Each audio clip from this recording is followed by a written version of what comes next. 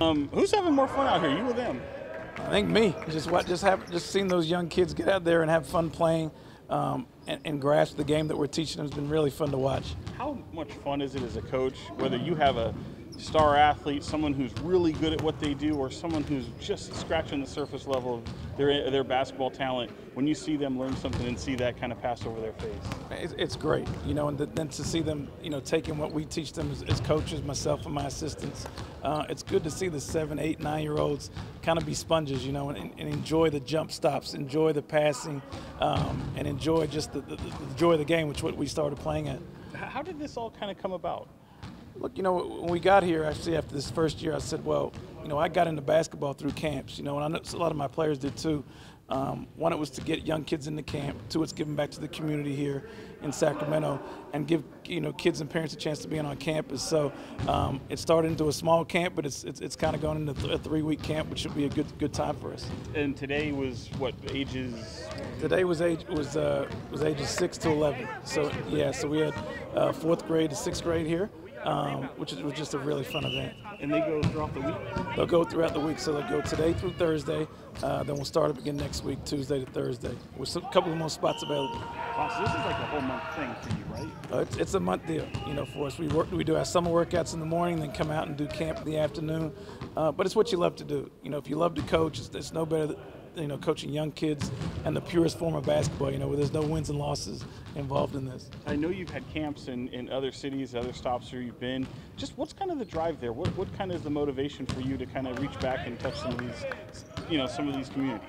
Look, I think it's one branding out university, branding out program, but two, uh, really giving kids that don't have access to some college games at time or college athletes at time a chance to be around, a chance to see what our college players are really like. Um, and have our players actually give back to, to, the kids that are supporting them. So I think it helps both ways, and uh, it's a really play, great place to do it here in Sacramento. I mean, I remember that first introductory press conference to where you are now. Just how proud are you of the work that you've done here?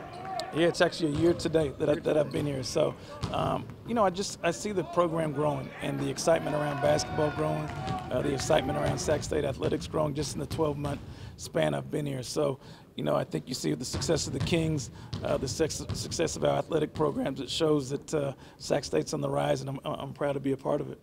What do you think of this community?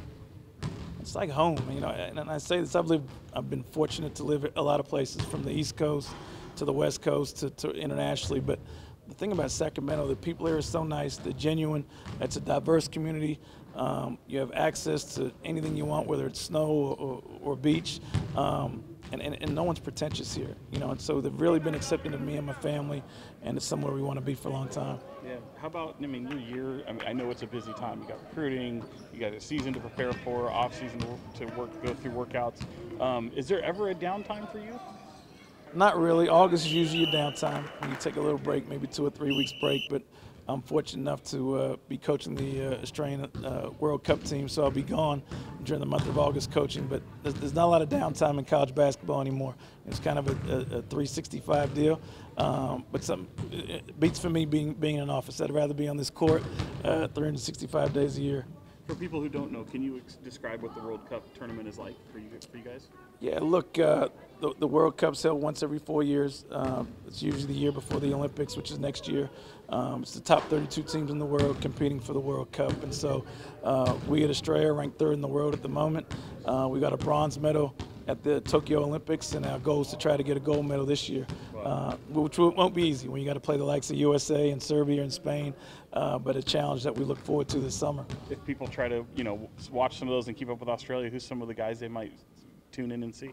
The guys they'll be familiar with would be Josh Giddey from the Oklahoma City Thunder, Patty Mills from the Brooklyn Nets, Joe Ingles who's with the uh, Milwaukee Bucks, uh, Matisse Thybulle who's uh, who's with the Portland Trailblazers. So we have a slew of slew of players.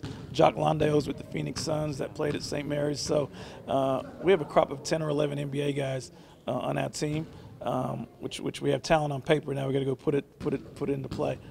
As someone who covers the Kings regularly, I love seeing you at practice with and Mike Brown. It seems like you guys have a really open, special relationship. I know that you know coaches always try to feed off of coaches, no matter what level. But how how, how valuable is that relationship?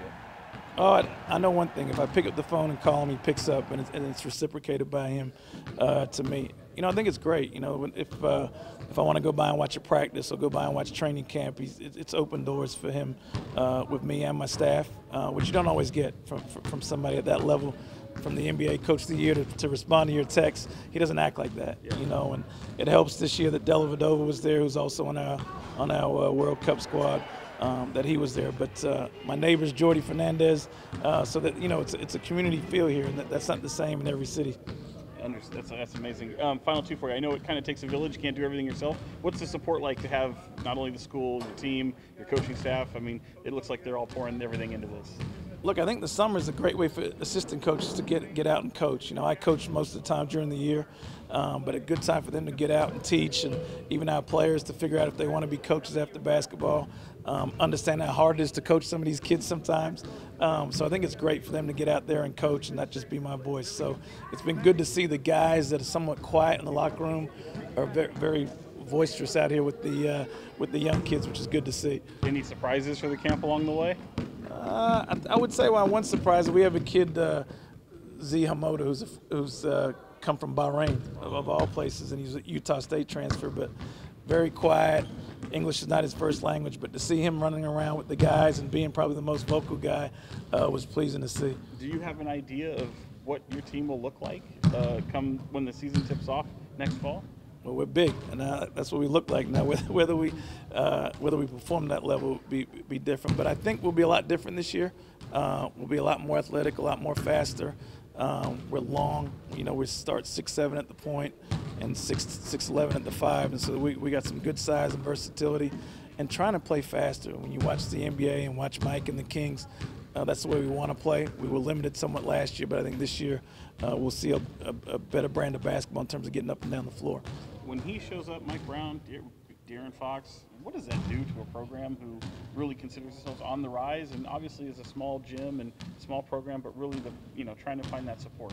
Yeah, when, if, when Mike and De'Aaron come in the building, my pregame speech isn't isn't too long. You know, you know, you don't have to worry about them playing hard, uh, but more importantly, playing the right way. But uh, it's just it's just so impressive for them to take time out of their schedule during the season to come watch a Sac State team play um, and really stay from start to finish. Now, guys felt that, um, and we're so grateful that they took time to do that and continue to to, uh, to support us. Awesome. And lastly, each kid they exit this camp. You know, what, what's kind of like the one thing if they take nothing more? What is the one thing you want them leaving this camp knowing?